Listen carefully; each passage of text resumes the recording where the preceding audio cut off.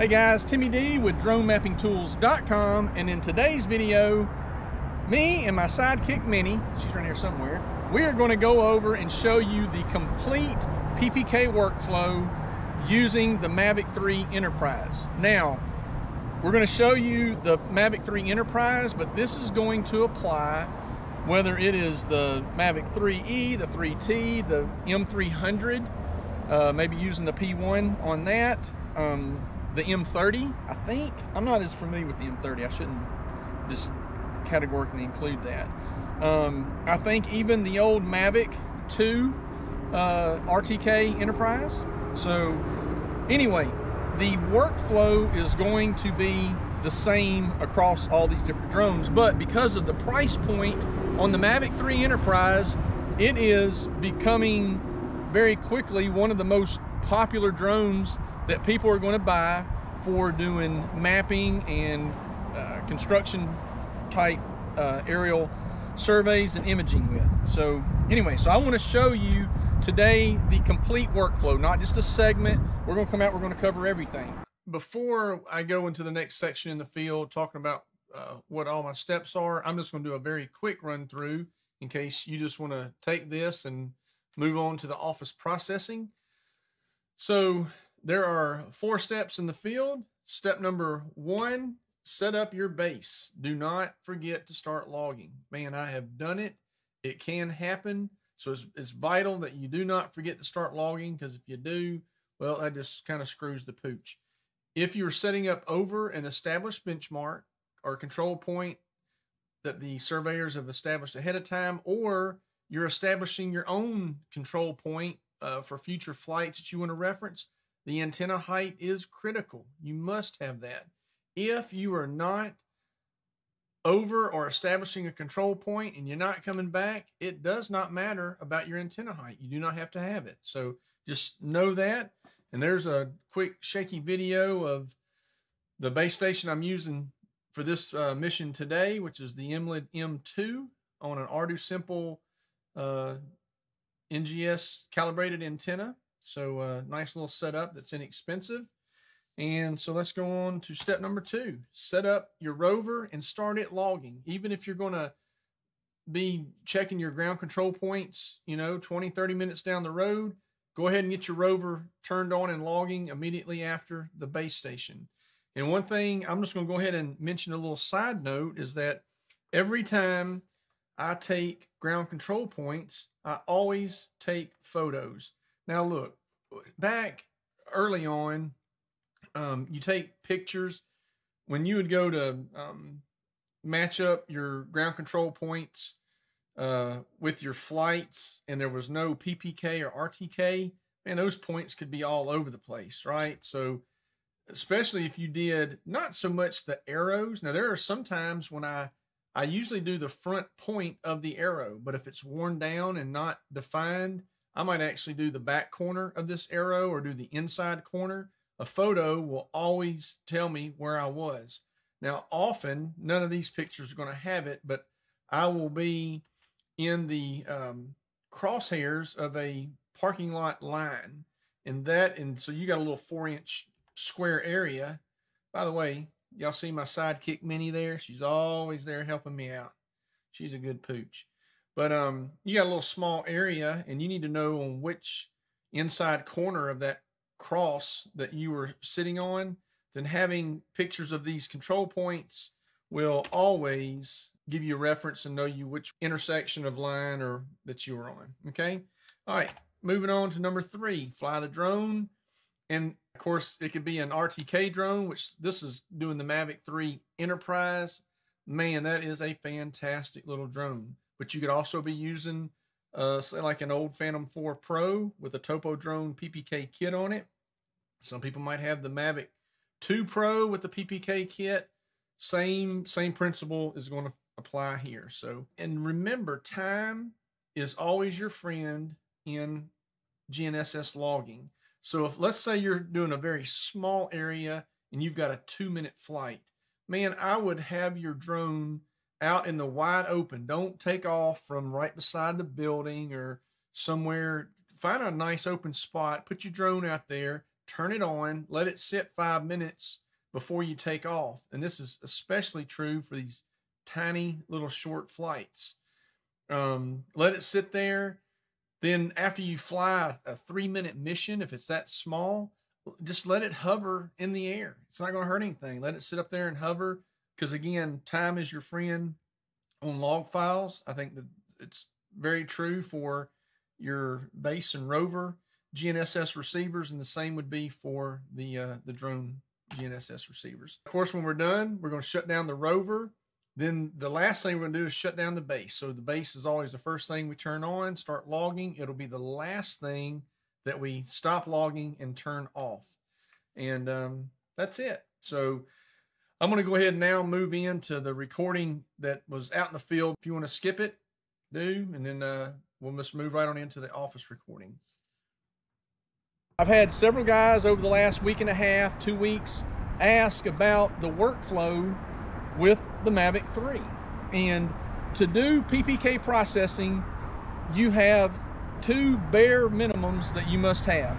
So when you buy the Mavic 3 drone, you must also have the RTK module on there. That's an additional uh, $709. So if you buy just the drone without this module, you will not be able to do PPK processing. And the reason is the additional files are not logged in the image folder that are needed for doing the processing. So bottom line is you got to spend the extra 900 uh, $709.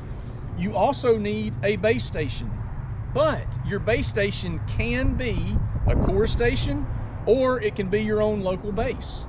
So here in the United States, we have a plethora of CORS stations all over the place. Now, there are certain parts of the country where base stations are not as prevalent, they're not as close, and so you have a much longer baseline, and that can affect the accuracy of your PPK. But because these are um, dual frequency receivers, you can have a much longer baseline for doing PPK than you could when using in the old days in some of my old videos where we had like the, the EMLID M Plus and you'd put that on a Phantom 4. Well, that was a single frequency receiver and so it required a very short baseline in order to maintain good accuracy. It, it worked really well, but it, it did require a very short baseline. So when you go out and you're going to fly 100 acres, you will have a couple different scenarios. You're going to go there and there's not going to be any control that's been established. In other words, the surveyors have not gone out that are responsible for doing everything there. They have not set up control, okay? So you go there, there's no control. You could go there uh, and there is control that already exists and you must tie in to that existing control because there have already been um, existing control points. Uh, maybe they've already surveyed the sewer drains and all that stuff. And so you have to tie into control so that your final product is going to match up with that. So that's very important. And you could go there and there's been no control, but you're actually going to establish a control point yourself. Maybe you're going to be responsible for coming back and doing multiple missions there, and you need to have a control point established so that that is the reference moving forward. Um, so that is really your main three scenarios that you're going to run into. So I've measured the antenna height on the base. So if we had a situation where we're over a known control point or we're going to establish our own control point, I am going to actually enter, uh, let's go into the base, we're going to add a point. And so you can see our timer is at two minutes. That doesn't matter. For a base, all I want to do is record my, and the pole height is, the antenna height is 1.667. That is to the bottom of the antenna. So now I'm going to measure. It's called base. And what I'm to do is I'm to just hit accept because I'm not, this is only so I have it for a record. So I'm to hit accept. We are done. The base is logging. So let's go back to um, I'm gonna go back to my receivers. I'm gonna go to logging. I'm gonna make sure that we are in fact recording and we have seven minutes and 51 seconds, okay? The very next thing I'm gonna do is I need to get this rover and I want it to start recording. So I'm gonna, I'm gonna close ReachView 3. I'm gonna switch over to the, the rover on my Wi-Fi, okay?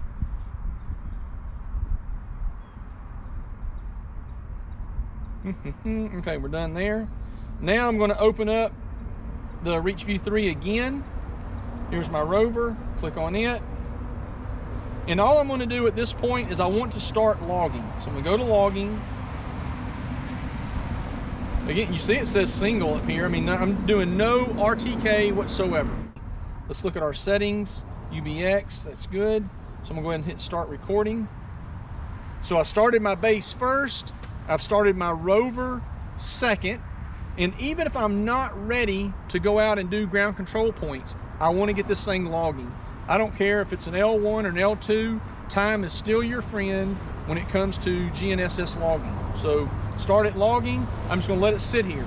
I got this thing, these battery packs on here. Again, look, this, this is not the most robust, um, it's not the most sexy looking GNSS outfit, but it works. It works and it's inexpensive. 700, about $750 for the M2 and the ArduSimple NGS calibrated antenna that to use with it. Excellent, excellent results. So we're done for now. We're now going to, I'm gonna throw some targets out, right? So I'm gonna go ahead and put some targets out, just a few. And then we're gonna get our drone up in the air. I'm gonna fly the mission and then we'll go and survey our ground control points and most of the time, I will go put the ground control points out and then, and I will survey them at the time I'm putting them out. That way they're just, they're out, they're done. If you, because if you, if you have a very large area, sometimes you end up spray painting uh, a, a point down. You want to mark it then so that it's done and marked. You don't want to go put a bunch out, come back, fly your mission, and then forget where some of your points are. So I generally speaking will always, especially on bigger sites, if I put a target out, if it's a grassy area, I will, I survey them at the time I put them down. That way, if I forget to pick them up at the very end, I just lost a target. But the worst thing is you go out and you put targets out, they're in your photogrammetry mission, but you forgot to survey them. That's bad. And the second thing that's, well, that's bad. And what's even worse than that is if you ever forget to log on your base and your rover that is that's very bad. I mean, it's all wasted because if you if you forget on either one, forget the base, everything is toast. Of course, you could use a CORS station, but no, I'd have to go back and redo it because I've already explained earlier. For me, I have to have an on-site base and an on-site rover for just uh, to confirm accuracy and confirm that what I'm handing in is what it should be. All right, so we are done for this part. Let's go ahead and get the Mavic 3 fired up. Well, first I'm gonna go put some targets out. We'll do that. And then uh, fire the drone up, fly it. We'll go survey our points. And then uh, after that, we'll be ready this evening. We'll go back in, go to the office and do PPK on everything and then uh, process it in one of the photogrammetry softwares and that'll be a wrap. When you are privileged to be able to fly and have a parking lot that's part of your uh, area you're flying, man, these, these turning, big turning arrows make very good control points. But now, if you're gonna do the front of the arrow, like this one right here, the front of the arrow uh, is not very defined. So you, it's already been worn down. So I'll find a good, on this case, the back side of the arrow is, is actually, it's good. So let's go ahead and we are ready to start our, uh, our survey. We're gonna add a new survey. This is going to be uh, M3E PPK ah, rover. Okay, done. Meters were good there. Save it. Now we're ready to uh, let's add a point, and we need to go back and change our point to two meters because we are at two. Okay, done. Save that. Right now our time is at two minutes. So I'm gonna measure. And so The ReachView app is going to just do a timer for two minutes, and after the two minutes, it'll bring up a screen for me to accept that. And I'm going to go around and we're just going to rinse and repeat. I'm going to do this very same thing at every ground control point. So I'm going to use some of the arrows here in the parking lot. I've got three targets that I put out at different elevations, so that's going to be good to see. And that's really it. So we'll do that.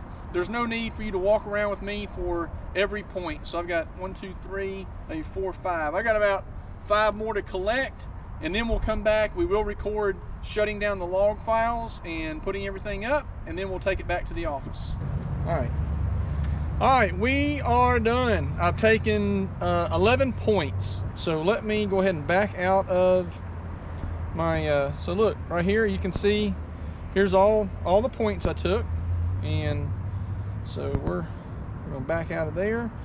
So the next thing we got to do is I'm going to shut down the logging on the rover first. Always shut down your rover first. I'm going to go to receivers. I'm going to logging. And we've logged for 56 minutes.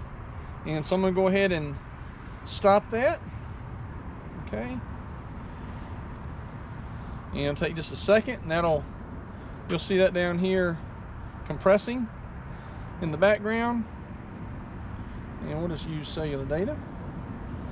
And so now that this one is, well, once this one's done, I'm gonna go ahead and turn this unit off. But even though this one doesn't have an internal battery, I will still go ahead and shut it down. So let's, um, right here, I'm gonna hit shut down and shut down. But you could actually email yourself. So if I wanted to go do my survey and I wanted to share it, we can share it directly from this app and we can do it through Gmail. You can upload it to Google Drive. There are multiple ways to do that, but I'm gonna wait till I'm in the office and I got a better recording setup so I can share the screen and show you that.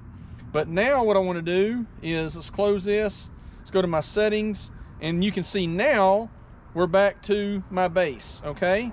So now let's go and open up ReachView 3 again, and we're gonna connect back to the base, okay? And now we're going to go to logging. In probably about 58 minutes. Oh, okay. I started at several minutes before.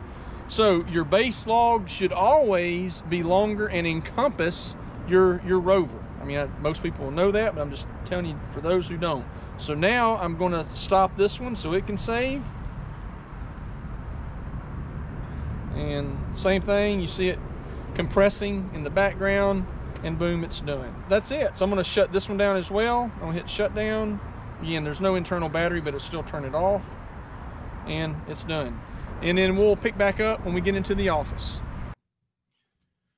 So before we begin doing the full walkthrough and the software and what have you for processing, I'm still going to do a very quick overview. So step one, you're going to download your log files from your base and your rover. This will be demonstrated later, but it's done via email, Dropbox, or Google Drive. And I'm just going to assume most of you guys are using the Emlid uh, RS2, or some people might be using the Emlid M2. Same, same for, for both of those. But again, I will show you that. It is so, so easy to uh, send those files through email, Dropbox, or Google Drive when you have your um, when you have internet connectivity. So that's step one. Step two, download the CSV file. That is your that's your survey file from the phone or tablet that you did the survey on. Same thing within the ReachView app. Very, very easy to send that file via Gmail, Dropbox, or Google Drive. So number two, step three, we are going to do PPK processing on the base. I think I've said it in the field video doing this whole process, this is a, a one trip out. This does not require multiple trips out to the field. So you're going to go out, you come back. First thing you're going to do is PPK process your base. And then after that, you will have the PPK coordinates. And from that, you will do PPK on your rover and on your drone using the new updated coordinates for your base unit.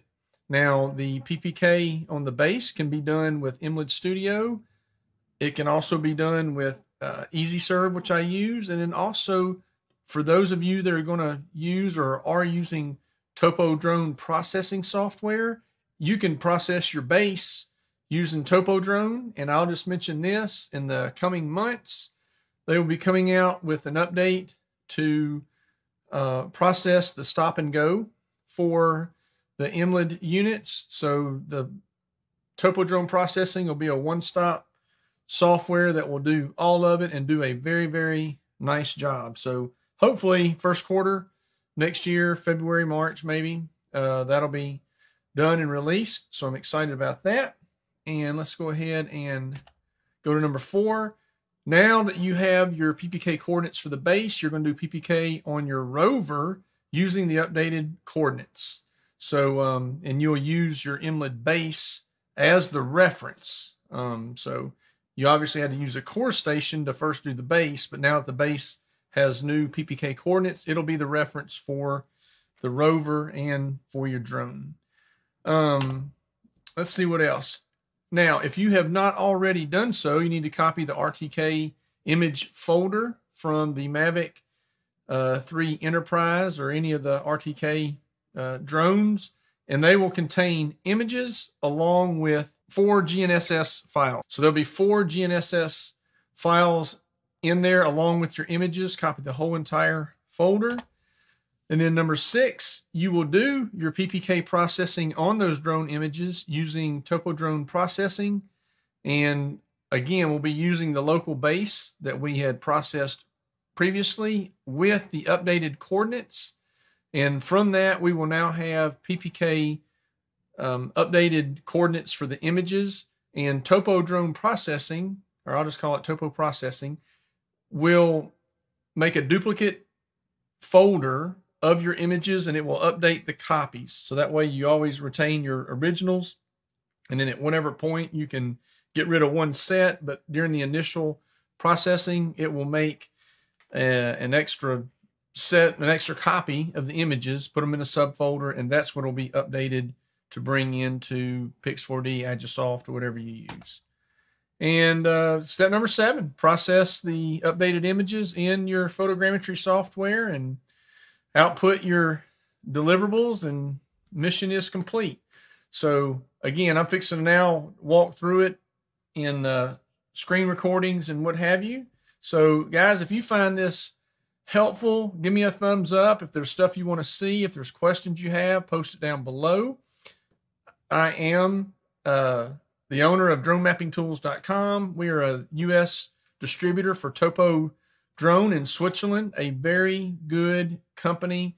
Lots of new products have already started coming out and coming out in the next uh, month. So check out our website if you need any LiDAR equipment, anything like that. We will take excellent care of you. So anyway, we're going to now move into the next segment. All right, so we are back in the office, and you know the first thing we need to do is download the files from the Reach unit. So it really doesn't matter if you got the Reach RS2, the M2, like I used in the collection today. And so I have opened up the the app on this is the ReachView 3 on my iPad, okay? And the reason I opened it up is so that I could see the IP address, the 192.168.0.162. Okay, so now let's switch over to a browser on my PC, and all of these we're all on the same Wi-Fi network, and I'm just going to show you that on. Matter of fact, let me switch back. Oops, one second. Okay, going back over to the iPad, in Wi-Fi, if you have a known uh, Wi-Fi network, then it will be connected. Oh, here we go. Run a little slow. It'll be connected to the, the top one up here. So you can see this is my known networks and networks that are available. And so as long as the reach unit and your computer are all connected to the same Wi-Fi network, then this works very nicely. Okay, so I'm going to close that. So again, I am going to, let's switch back over to the browser and I'm going to go to 192.168.0.162. Okay. Now that's going to open up my Emlid control panel. We're going to go to logging and I want to download the log file from today. And this is the base file, okay? So I'm going to download this. And we're going to come here.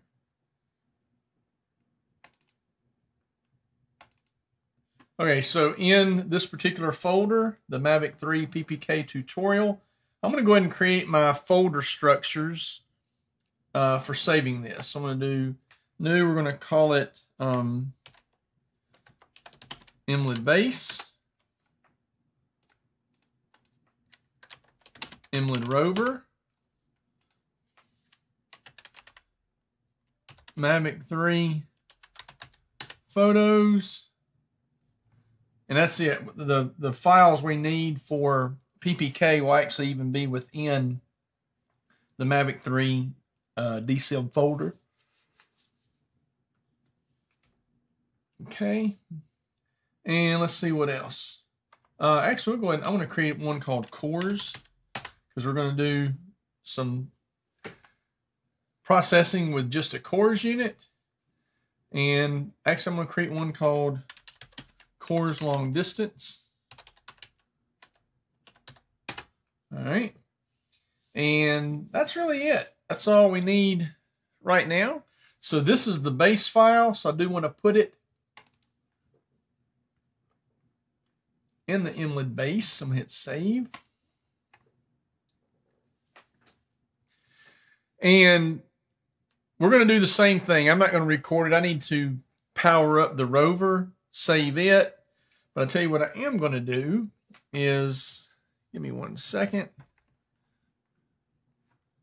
All right. All right, so we're back to the iPad. Let me bring up. Mm -hmm.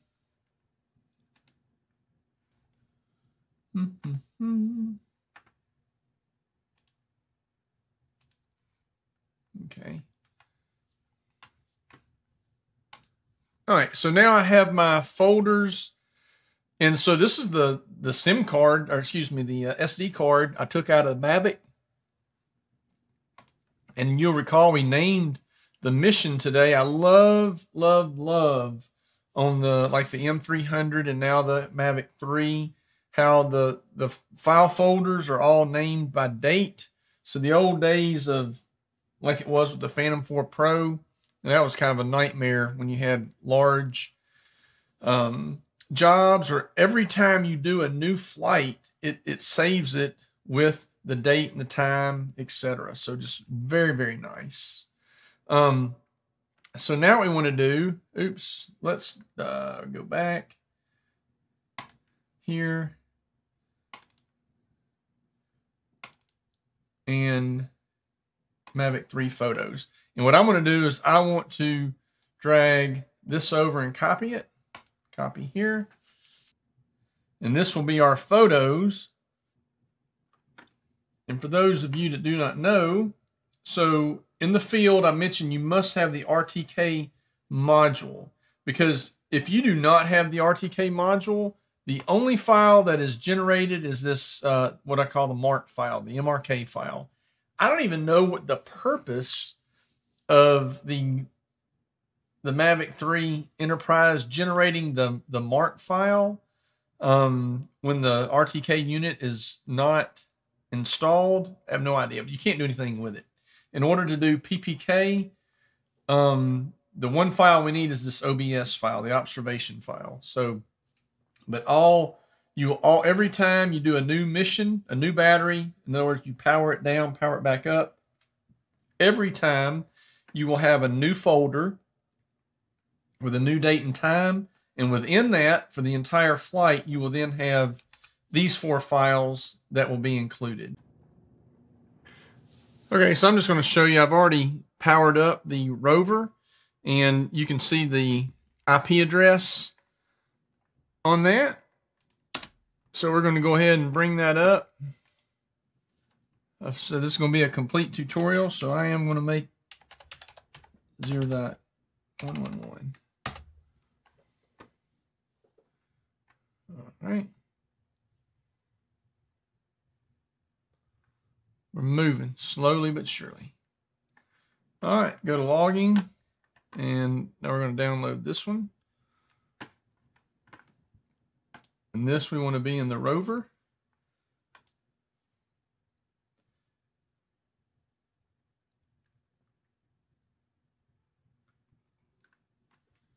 All right, we'll look up here. You can see, ah, I should have turned on my, uh,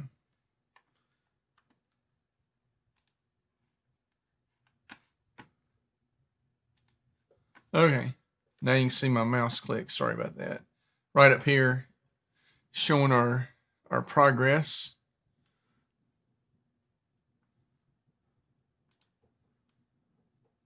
Oh, I didn't mean to cancel. Crap. All right, let's do it again. Rover, yes. And while that's downloading, I want to check. Um, oh, it's not here.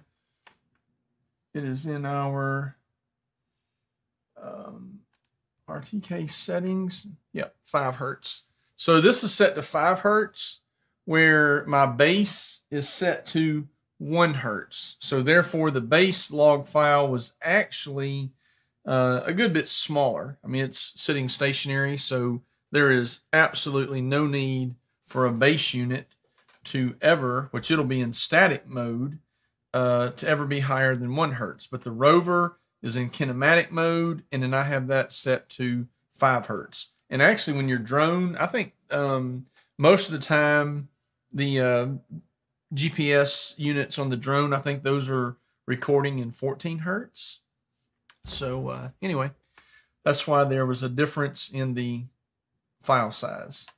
So we are still downloading, as you can see. I don't know. So I'm, I'm a little ways from the, the Wi-Fi on this, so it may be that my um maybe it's done. Let's give me one second. We're gonna we're gonna check that. All right, so there's there's the folder or the file. It's in there, the rover, and then there's my base. So they're both there. All right, well that's it. We'll um, move on to the next step, and I'll pick up recording in just a second.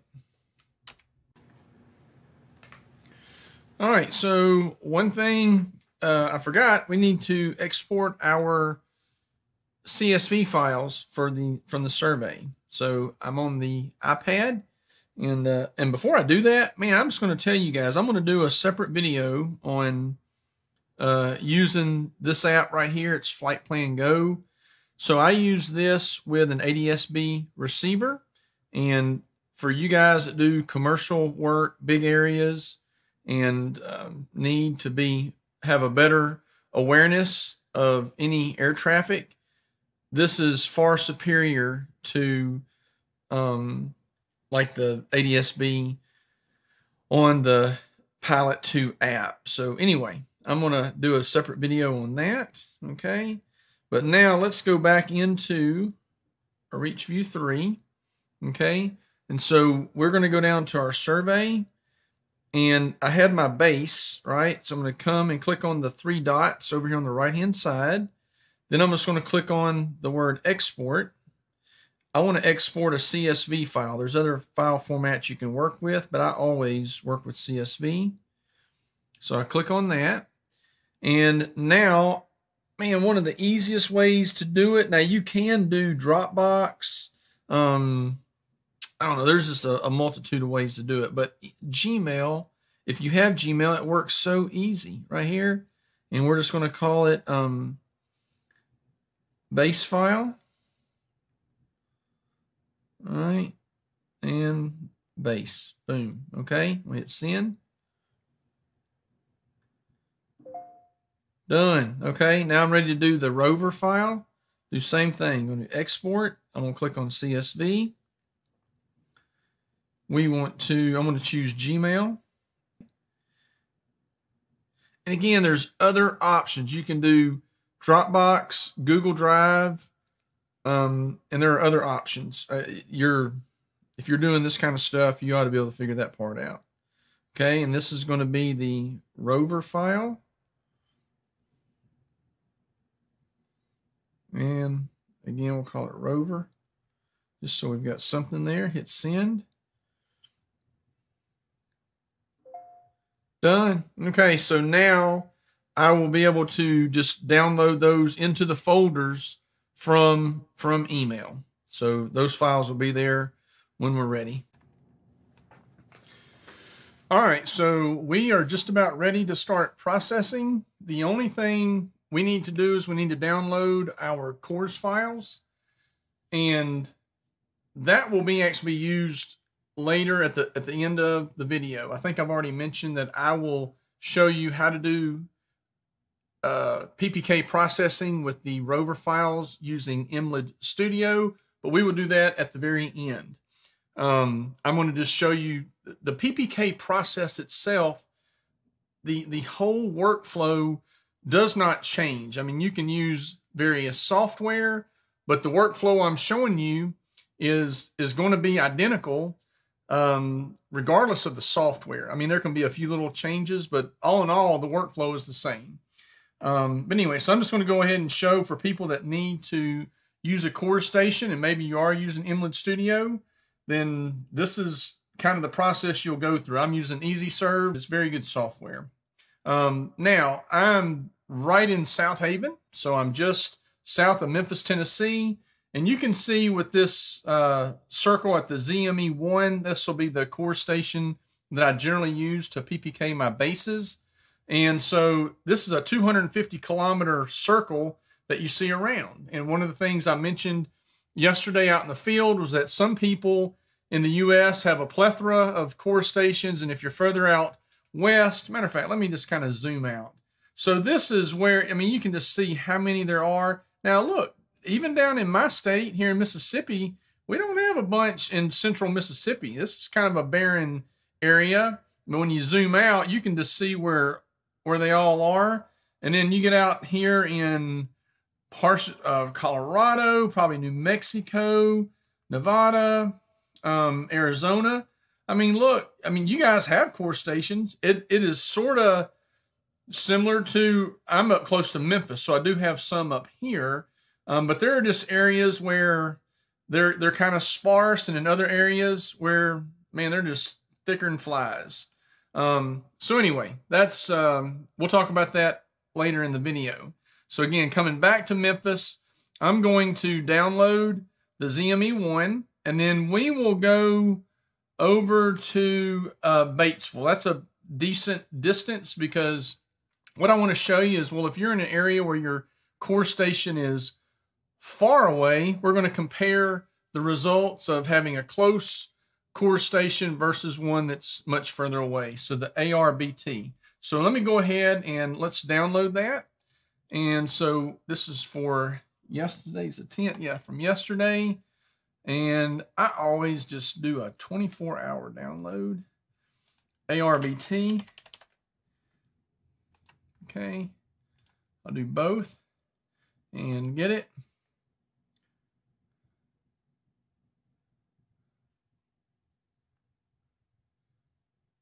So earlier I was doing some work. This site is moving extremely, extremely slow. I do not know why, um, but the the NGS website is crawling today. Just extremely, extremely slow. Tell you what, I'm just going to go ahead and minimize that for now. Now this is the folder structure. I, I just I cannot remember if I showed this earlier, but I'm going to have this will be for the local CORS station that's right close to me. This will be for the one that I'm trying to download right now, the one that's further away. Then we have um, the Emlid base, the Emlid rover, and the Mavic 3 photos. Okay. So that's that's really the folder structure. Man, if you stay with that, it keeps everything nice and simple. The files are there. We don't need to replace those. But you see that's where we would go in order to do that. Again, I'm using EzSurv at the end of the video, and I'll either do it at the end or I will do a separate video that specifically shows you how to do this in Emlid Studio. But for the sake of just walking through the entire process, we're going to use EzSurv because I can go back and forth between WGS 84, NAD 83, state planes. I can uh, move back and forth very easily with this program. So here we go. We're going to go. First thing we need to do is we need to do PPK on our base unit. Okay. So I'm going to come here and I'm going to drag in my UBX file. And I've mentioned it, but I'm going to mention it again. The I'm not worried or concerned with the antenna height, okay? If we are occupying a control point that has been established before we go there, antenna height is very important because now we're using the elevation of the benchmark and that has to be accounted for. Antenna height matters. When you go and it's a one and done, you go out, you're going to fly a site, you're not returning and you're not occupying a benchmark, the antenna height of your base does not matter. So in this case, it's not going to matter. So, but I am going to go to sites. One thing I need to change, this program is, I have it set up to default to the Reach RS2. And in fact, this was not a Reach RS2, it was the M2.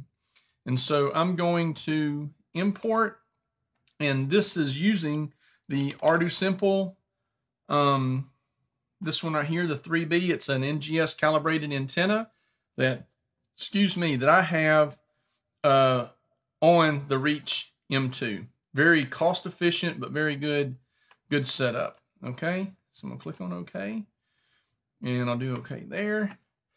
And one other thing I want to do is um, we're just going to do stay with L1, do the L1 uh, frequency only. That is always a cleaner um, option. So I had the base out there for a while. So let's do uh, tools. I'm going to do process auto. Now this is going to pull in the ZME one. We were just looking at that. That is my closest uh, CORS station. And so we do have a fix. I'm going to go here and there's my data and you can look at the um, uh, it was on the previous screen. I was going to give you the distance on that. I mean, this thing's probably eight miles from here. Very close. All right. Now, uh, we're going to switch back over, and I'm going to bring in uh, the rover and go ahead and do PPK on our rover so that we'll have that done before we start working on the drone flight. So I want my my Reach M2 to be to to actually be used. Oops, let's go back to observations. I want this to be used as a reference. I'm going to say use as reference. I'm going to do OK. And I'm actually going to get rid of ZME1 because when I do post-processing on the drone flight, I want to use the same base for the drone flight as I do for uh, your rover doing your ground control points. That's very important. If you want the utmost accuracy, you need to use the same base station. So let me go ahead and delete this. Remove, yes. Okay, now let me run this. All right, this little program here. Now I can uh, go up one, go to my rover. Okay, so on the rover, I'm going to bring in the CSV file, and I did show exporting that out from the tablet, from the iPad. So I'm going to drag it there, and we have meters selected, and my pole height was in meters, okay? And now I need to bring in the UBX file. I'm going to drag it in here, and then I'm going to click Generate. It's going to create an XML file right there, and I minimize this. Now, now I can drag in this XML file right here and it'll create all of my uh, sites, all of my GCP observations. So give it just one second. And then we'll go ahead and do PPK on this. And so now what we're going to do, we're going to export this out and then this will be used. We'll bring this into uh, Pix4D after we do PPK on the images.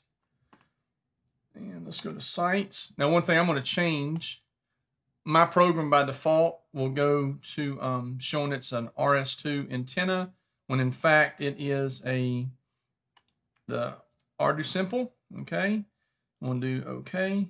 Now, actually, let me let me see if I can change all these at one time. Uh, properties. Yep, do okay. Give me one second. I'm gonna see. Mm-hmm. No, it didn't. I gotta find out. I normally don't have to change those, so I don't know. Um, well, I always use the Reach RS2. So let's just, we're just going to do okay. I'm just going to go down through each one of these. Now I need to find out how to uh, batch change them. All right, everything has been updated. Now I am ready to process. I'm going to go to Tools, Process Auto, and I had 11, 11 points here. So we'll go through. And once this is done, I can export these out. But I just, for the sake of this tutorial, we're going to export out in uh, NAD83 geographic. And so everything, I had 11 fixes. Here they are. So I am in right now, uh, space, Mississippi West. So we're going to change this. I don't want to be in Mississippi West because most people, if you're using um, Emlid Studio, you are going to be in uh, NAD83 Geo. So let's do selector, go up, geographic, right here. Okay, so here are our points. Here's everything. So actually, I'm just going to go ahead and save this. So I'll have a um, just a whole entire list, and we're going to call it NAD83 Geo in Geoid 18. So I can have a, a text file that I'll have both my ellipsoid and orthometric height. So I'm going to hit save. But now I'm actually going to come here. I'm going to do tools, export, sites, and let's verify. I want to export out all my PPK ground control points, and it's going to be in ellipsoid height. Okay, so I'm going to close that. I'm going to do OK. And uh, we're going to call this, no, that is incorrect. So give me one second. Eh, that's the wrong one. So we want to do uh, lat long. So I'm going to do Agisoft lat long. Let's make sure in position geographic. So that way we do have lat long. Height is an ellipsoid. I do not want to do orthometric, so I'm going to turn that off. I'm going to close it. Yeah, we'll go ahead and save that. Now when I save this file out, it is going to be NAD83. And I'm just putting it in the file name so that it is for reference. NAD83, um, Geo for geographic, and then um, Geoid 18. And really, it's in meters also, so it's good. I, I like to put that so I just know everything, especially if I export out multiple files. I like to do that. So let's save. Okay. All right. So we can, I'm going to close that out. Close this. We are now ready to move on and open up the TopoDrone processing. This is hands down the best software on the market for doing PPK processing on your drone flight. Um, you know, there's others out there, but TopoDrone is the best. I mean, I've, and I'm not saying that just because I sell it. And yet, full disclosure, yes, I sell um, our company, dronemappingtools.com sales TopoDrone processing. I was a user of TopoDrone before our company ever became a reseller, and I'm very proud to be a reseller because it is uh, an industry leader in the software, in the LiDAR, and all the systems that we sell. Top of the line. Excellent, excellent quality. All right, so the first thing I'm gonna do is come in. The difference is PPK processing in this software is for people that have the TopoDrone add-on modules that you added a PPK kit onto like the Phantom 4 Pro, the Mavic 2, the Air 2S. I mean, there's a couple different consumer grade drones that you add a PPK kit on, and now you have very good quality and excellent uh, accuracy for a, a, a consumer grade drone. The RTK post processing is for the DJI RTK drones. That's going to be now the Mavic 3 Enterprise, the M300, I think the M30. I don't I don't know anything about the M30. So I think that the Mavic 2 uh, Enterprise, I believe, that was with RTK, and for sure the Phantom 4 RTK. So this is what is for all of those. So the first thing I'm gonna do is go here and I'm gonna say, um, bum, bum, bum, open up uh, my folders. There it is. So I'm going to hit select. Okay. And it's going to come over here and tell me there's 99 photos in that folder. So it's good. We need to know uh, how many images and events. There's 99 of each. It's always good that that matches. I mean, once in a blue moon, something happens. Um, and not so much in the, uh, I've seen that in the, uh, like in the, with the kits or people have other drones um, that's where you have issues that the the events does not match the photos. The RTK drones, man, that's it's always going to be a match. All right, so we have 99 of each.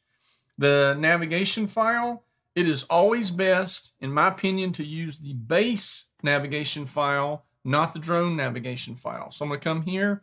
I'm going to go to my base, go in here, uh, and guess what? There, I have to we're going to have to first bring in the UBX file here, and then it will convert it to RINEX and have the, so you'll have the OBS and the navigation file generated at that time because I logged in UBX, which I think is best. So I'm going to select the base. Let's go back here, Emlid base, and there's the UBX, open. Okay.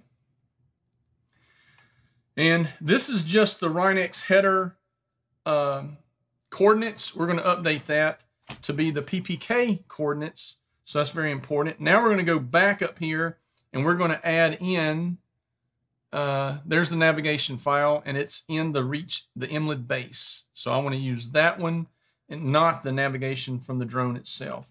So the next thing is we need to update these coordinates. So let's, um, let's see here. You know what? I put it in the rover in the rover post process. Here we go. All right, so this is going to be, there's our latitude. Let me minimize that. So let's update that. Oops, control B. Okay, now let's do our longitude.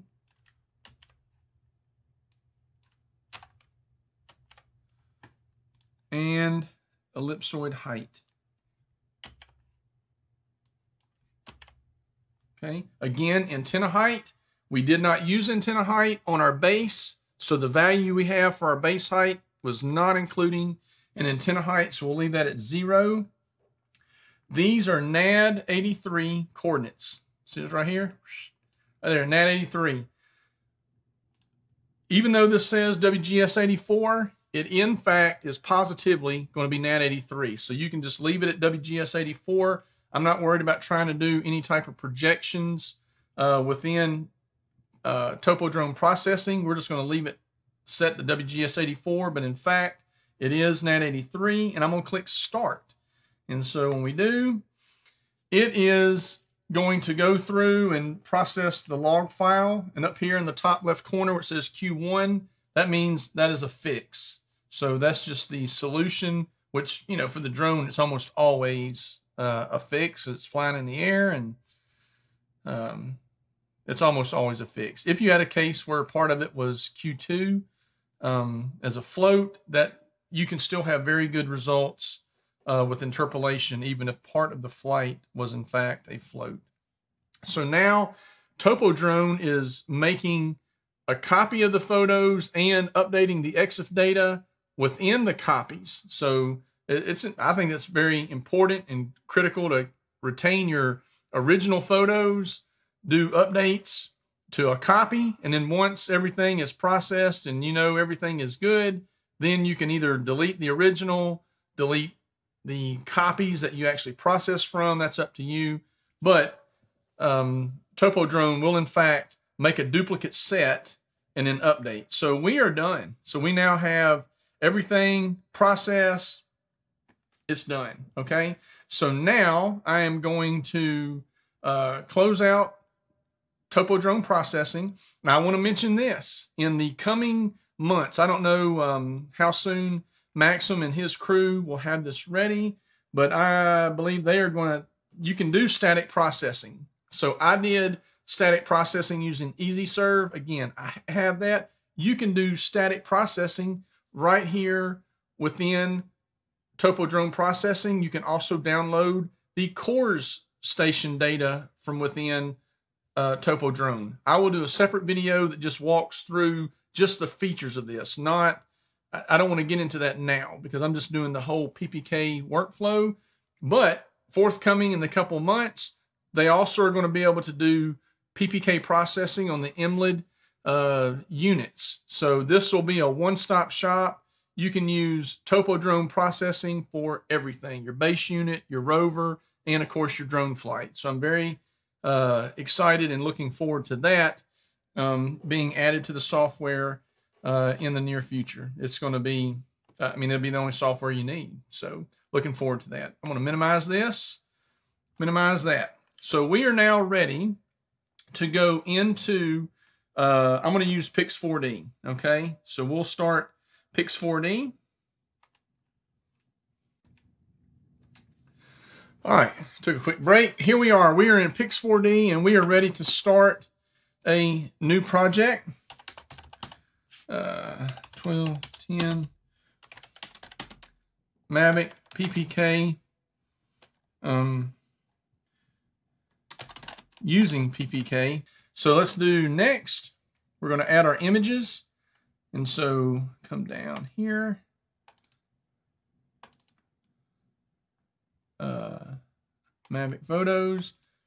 Remember, it, it uh, TopoDrone processing created an output folder.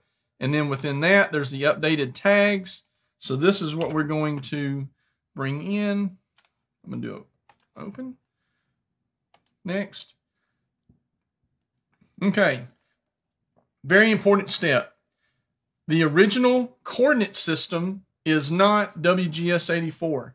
Pix4D and even other uh, photogrammetry software will just default and say your images are WGS84. That's because when they come off a drone, I mean, that's just what, what they are. But we know that we have done PPK and that it was NAD83. So we need to change this. Otherwise, well, you're going to be off in horizontal and vertical by a good bit. So I'm going to uh, do advanced settings. I'm going to do from a list. And I know that it's NAD83. So 2011, actually. And this is the, uh, we're going to do the geo. This is NAD83 2011 geographic. That's exactly what I want right there. That is what these images are when they um, were processed in topo processing. So we got that. I'm going to go ahead and do OK. So that is the origin. And now let's go to next. And now it says, well, what about the output? It is, again, doing WGS84. I don't want that. We're going to, let's do um, advanced. I'm going to do from a list again. And I'm just going to stay with NAD83. 11. Now, uh, let's see. Do they have... Well, guess what? There is no Okay, so uh, okay, I am going to. I'm going to go ahead and go with Mississippi West. Okay, and then we uh, 93 Mississippi West. Okay, and I'll leave it in meters. And we'll be okay. And then I will re-export the coordinates in EzSurv out in state plane coordinates. So we're going to go that route and I'm going to do next. I mean, everybody that I do work for, that's what they want. Um, and I'm, I guess I'm surprised that the Geo version is not in this known list. So anyway, okay, so let's do next. But in when you're using Pix4D and most other um, photogrammetry software, the the output format and your ground control points need to be in the same uh, CRS, the same system. So I'm going to do 3D maps. I'm just going to do finish. And we're going to start. I will let this run. We'll come back. We'll take a look, uh, bring in the ground control points and see how well everything lines up.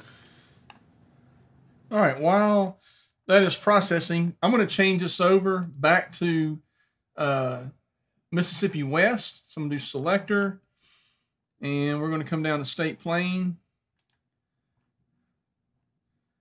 And I'm going to do Mississippi West. Okay. Now I'm going to do two things. Save it. NAD 83. Mississippi West. GEOID18. Hit save. Okay, just so I have my base coordinate and everything else for future reference. And now I need to export sites. And this time I do need to go back to my CSV state plane. I want that ellipsoid height, yes. I'm to do OK.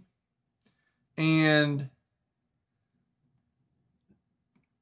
state plane NAD 83 Mississippi West. It is actually in meters, so we're that's not the norm, but hey, we're gonna roll with it. Okay. Um bum bum bum. And well, it's ellipsoid height, so geoid doesn't matter here. All right, so we're gonna do save.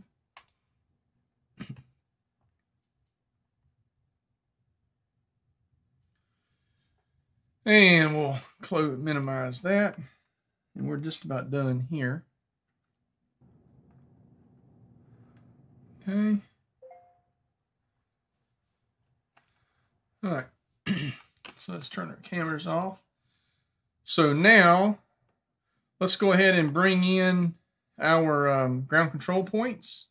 So new project. And let's import. Hit browse. Probably could have done quick access.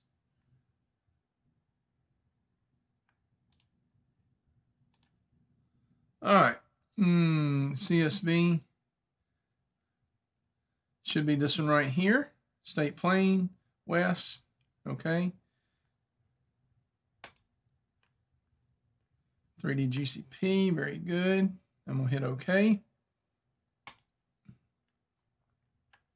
All right, so here are our um, ground control points. So let's go ahead and look at some of those, see where we are. All right, now folks, I'm gonna tell you something. That right there, that's good. So let's go all the way, all the way down. And we got a few right there, they're off. But I mean, that's in terms of um, hitting, the, hitting the mark, this is this is really good, really good. I mean, I hadn't even matched anything up; they're just there. Let's let's go back over here. Okay, same thing. Really good. Okay. Let's look at some of these. So this was kind of on the outskirts, and then this is down in a in the little bit in the hole. Okay. Hmm, so some good. Now you know, we got some, we're starting to have a little variation here. But overall, the in the report, this would still be very good once we tighten that up. But that's where it's good to have a ground control point. We're out here on the edge, um, not going to have as much overlap from this side over here. So, and then let's look at this one.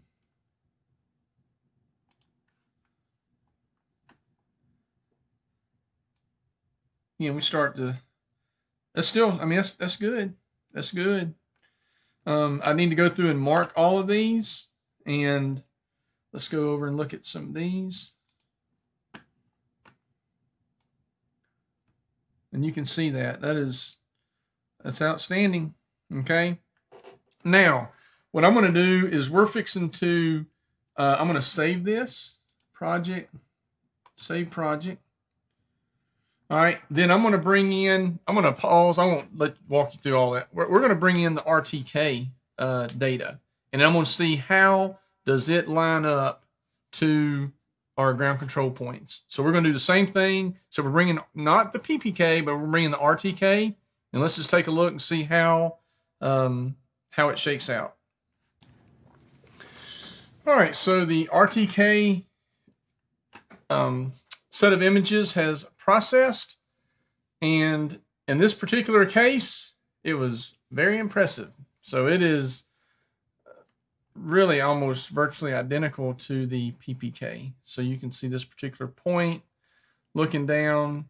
Again, I haven't marked all the photos, but you know, you just you look at where they're hitting and the um, the errors are going to be, or the residuals on this will be uh, probably virtually identical. Now, what we're not being able to know is um, on elevation. So if I, oops, here we go. I mean, but they're they're they're hitting like boop. Look on there and tell that's going to be really that's this kind of perfection. So anyway, so in this particular deal uh, scenario that I did, RTK is coming in very, very accurate. You remember I was on that inside corner. Well, you won't remember, but I took pictures and I'm going to paste up. Um, I'm going to try to import the photos of these different uh, ground control points just so you kind of see how I do that because it's important to take photos of every one so there's never ever a question, particularly on this one right here. Okay.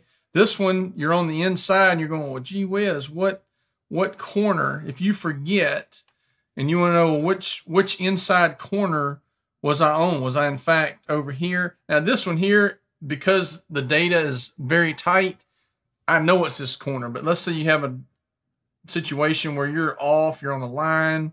I mean, at that point, you really do need your photo uh, to be able to reference back and know which inside corner you uh, surveyed. So anyway, uh, I'm actually very impressed with how well the RTK has matched up to the PPK because the RTK um, base for this is in Nesbit. So it's about five, six miles south of here. And then the CORS station that I use for PPK, well, that's about eight miles uh, to the north. So both are very, very close. Um, but in this situation here, the RTK was great. Now, look, you're going to have situations where this is not the case. You're going to have cases where you're flying in a remote area and you don't have good reception and RTK is not reliable. Um, so that's uh, the fact is a PPK workflow will it's not dependent upon a uh, cellular connection where when you're flying and relying on RTK, that's exactly what you're dependent upon. And if anything happens to it, well, you're you're kind of screwed. So you can you could have an RTK workflow where you fly RTK, then you um, if everything's good, you still need ground control points. You got to have checkpoints, uh, and I shouldn't say ground control. You just have to have checkpoints. You got to have checkpoints to validate. Because if I was surveying this um, for uh, one of my local engineers or surveyors, I'm not going to turn it into them unless I've got checkpoints all throughout here uh, to literally validate that everything is is tight and where it should be. Um, because you could, let's say you had just a situation, let's go back and look at this particular ground control point. You know, these are all tight right here. We come down. Now we've got some variation over there. Um, these right here on the front, this one and this one on the outside, a little less accurate than these right up here on top. So, folks, I mean, that is, that is really it. I will, um, I'm going to go ahead and process these. I'm not going to walk through that. You don't need to, there's so many videos, but I'm going to process. We're going to look at the, uh, the errors on both the RTK and the PPK just for the sake of comparison. And I am unsure whether I will do at the end of this video, if I do not put at the end of this video the tutorial on processing in EMLID Studio, doing the same thing that I did for um, uh, EzSurv. If I do not have it in the end, I will put in the description and I will make a new video just for that, just to show this is how you're going to process your stuff in EzSurv. I'm sorry, in EMLID Studio um, so that people that need a link for that can go to it. So I'll either put it at the end. Um, I'm really running out of time and want to get this thing pushed out. Um, so if it's not at the end, I'll make a new one, put it in the description. If this video has been helpful, please give me a thumbs up, put some comments below, let me know what else you want to see. And again, I'm going to go ahead and just do all the ground control points, tag them, and then we're just going to compare uh, just for the sake of comparison, the RTK and the PPK. But if you need the PPK processing software, the TopoDrone software, visit dronemappingtools.com. We're the U.S. distributor for TopoDrone. We provide excellent, excellent customer service. Um, look, I mean, it's uh, we're here to help people. Yes, we want to make money, but if you're not satisfied, if you're not knowledgeable, if you are not able to use the software, then I haven't done my job. So we will always make sure that you know what you're doing, help you through any data sets or whatever we need to do to make sure that you know how to use the software and that you get the results that you're expecting and that you need to get. And um, so again, if you need to see uh, any other type of videos, put it in the comments below. If you have any specific questions, ask me that. And uh, if I don't know it, I'll try to find the answer. You guys take care.